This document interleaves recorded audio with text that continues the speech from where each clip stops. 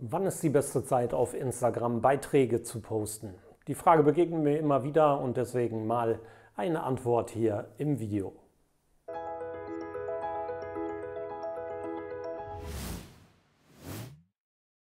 Die beste Zeit, um Internet bzw. Beiträge auf Instagram zu veröffentlichen, wann ist das genau? Kann man das tatsächlich so einfach und so profan sagen? Nein, natürlich nicht. Unsere Zielgruppen sind sehr, sehr unterschiedlich und gerade aus unternehmerischer Kommunikation, Unternehmenskommunikationssicht sind unsere Zielgruppen auch auf den unterschiedlichen Plattformen zu unterschiedlichsten Zeiten aktiv, schauen vielleicht mit ganz anderen Beweggründen in die App und wir wissen es einfach nicht so ganz genau.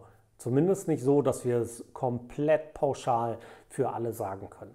Aber es gibt durchaus Menschen, die sich damit analytisch beschäftigt haben. Unter anderem das Unternehmen Tailwind. Also die App Tailwind, das ist ein Social Media Tool, was es erlaubt, auf unterschiedlichen Plattformen auch zeitverzögert zu posten, unter anderem in Instagram oder eben auch auf Pinterest. Die haben eine Studie gemacht. Anfang des Jahres 2020 haben sie 1,8 Millionen Beiträge ausgewertet und statistisch ausgewertet. Und dabei ist natürlich ein bisschen die Frage beantwortet worden. Zu welchem Zeitpunkt, an welchem Tag, zu welcher Uhrzeit sind für bestimmte Zielgruppen bzw. Beiträge mit bestimmten Inhalten für die Menschen, die Konsumenten, die solche Beiträge konsumieren, tatsächlich ein bisschen interessanter in Bezug auf, wann ist die beste Zeit zum Kommentieren oder wann ist die beste Zeit, wann gibt es die meisten Likes. Ja, dort gibt es durchaus ein paar Tage, die herausstechen. Damit ich euch das mal zeigen kann, die Studie bzw. die Ergebnisse sind kostenfrei online. Kann man sich selber mal ein bisschen anschauen. Dort findet ihr euch mit Sicherheit auch wieder. Und in dieser Studie, die in Englisch ist, aber die Grafik ist ein bisschen selbsterklärend, wie ich finde, können wir sehr gerne mal draufschalten. Und das machen wir jetzt mal.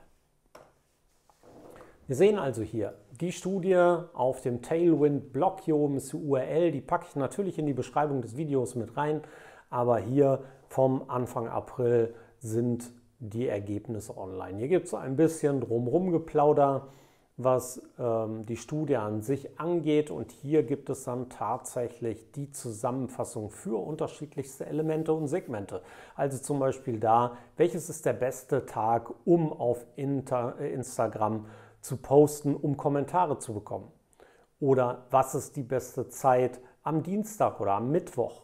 Ja, und hier gibt es dann die grafische Aufarbeitung. Also zum Beispiel sagt die Studie, die beste Zeit auf Instagram zu posten, um Likes zu bekommen, ist hier in den Zeitangaben der unterschiedlichen Zeit. Nicht vergessen, das hier ist nicht unsere Zeit, sondern umrechnen auf mitteleuropäisch. Das geht aber relativ einfach. Da habt ihr mit Sicherheit auch schon mal im Internet ein paar Dinge gefunden. Oder hier, bester Tag, um auf Instagram zu posten, um Kommentare zu bekommen. Offensichtlich am besten der Mittwoch. Ja. Und auch Samstag ist jetzt nicht echt nicht schlecht im Vergleich, aber der Mittwoch ist halt deutlich besser. Also schaut vielleicht mal in diese Statistik hinein, denn es gibt natürlich auch Grafiken, die zum Beispiel für bestimmte Branchen oder Zielgruppen geeignet sind. Ist hier zum Thema Kinder oder Weiterbildung oder Unterhaltung. Hier natürlich das Thema äh, Gesundheit und Beauty. Es gibt unterschiedliche Zeiten und das seht ihr alleine hier schon, weil die Zielgruppen natürlich unterschiedlich reagieren zu den unterschiedlichen Zeitpunkten oder an den unterschiedlichen Tagen. Wir kennen das ja von uns selber. Wir sind an manchen Tagen eher eingebunden, an anderen Tagen weniger eingebunden und zu manchen Uhrzeiten eher verfügbar, eher schlecht verfügbar und dementsprechend haben wir dann vielleicht auch weniger Lust, uns diese Medien gerade anzugucken oder darauf zu reagieren, indem wir Kommentare verfassen. Also, beste Zeiten für Instagram-Posts, schaut einfach mal rein, das ist die Studie von Tailwind.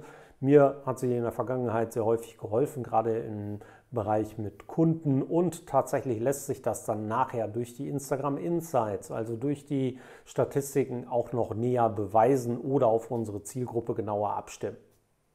Das war der Tipp für heute. Macht's gut.